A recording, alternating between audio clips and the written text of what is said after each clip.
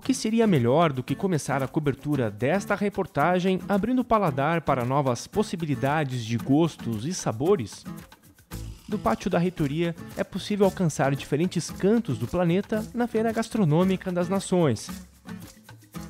Venezuela, Peru, Síria, República Democrática do Congo, lado a lado, sem os convencionais quilômetros de distância que às vezes povoam mais os nossos preconceitos diante da riqueza que a cozinha desses países promete aliviar. Hoje eu vou apresentar uma bebida que é uma bebida típica do meu país, que é cremas. O cremas é, é uma bebida alcoólica. Pessoal, nada melhor agora do que a equipe de reportagem ter a oportunidade de provar o cremás, né? Vamos lá? Hum, é gostoso. O Programa de Política Migratória Universidade Brasileira executa as políticas de apoio aos refugiados a partir da Cátedra Sérgio Vieira de Mello na UFPR. A Cátedra Sérgio Vieira de Mello na UFPR, ela decorre de um acordo institucional entre a Universidade Federal do Paraná e o Acnur, que é o Alto Comissariado das Nações Unidas para os Refugiados. Hoje aqui na nossa tenda, a gente tem alunos UFPR que são migrantes de várias nacionalidades e que se dispuseram vir aqui voluntariamente fazer suas comidas, suas bebidas típicas, né, que tem é, suas origens, seus costumes, suas raízes e oferecer para o público, né, para com isso a gente realmente realizar a interculturalidade, fazer essa troca, né, dos valores, das culturas, enfim, enriquecer para todos os lados.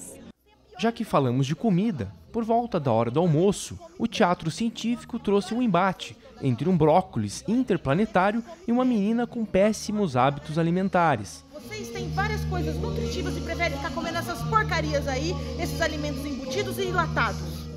Tainara, que brócolis é esse? O que, que você vai aprontar aqui hoje? O dia que o brócolis salvou a terra fala sobre a pequena Juliana, que ela não gosta de comer vegetais, não gosta de comer comida saudável, e de repente tem um alienígena, que é um, um brócolis, o senhor vegetalien, dentro da cozinha dela. Se for para rir, que também seja para conscientizar. Então, assim, a gente começou com o Labimóvel trabalhando com popularização da ciência em 2006. Então, de lá para cá, a gente veio com uma série de ações: é, produção de material, oficinas, formação continuada de professores. E chegou um ponto que a gente viu que a gente precisava, para trabalhar a popularização da ciência, integrar um processo que envolvesse mais sentimento.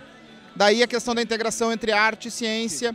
E a receptividade que a gente teve com o teatro científico assim é enorme, porque o teatro encanta, né? O teatro causa uma coisa que as pessoas ficam, nossa, um brilho no olho. Então isso é uma coisa muito legal que a gente observou com essa ação. E ainda houve tempo, antes de bater aquele rango, de arriscar algumas acrobacias em dupla com a companhia de circo da UFPR. Então, o que está rolando aqui é uma oficina do CIRTESES, que é um projeto de extensão e também um projeto de pesquisa aqui da universidade. E o que a gente vem pesquisando é a pedagogia do circo, a forma como é, criar um processo mais fácil para a iniciação ao circo. E aqui é uma amostra disso. Né? Então é uma oficina aberta para todo mundo, assim como os projetos são. Ciência, cultura e inovação. Se depender do que vimos até aqui no festival, vai dar para ter tudo isso junto e muito mais, sem perder a descontração e o bom humor.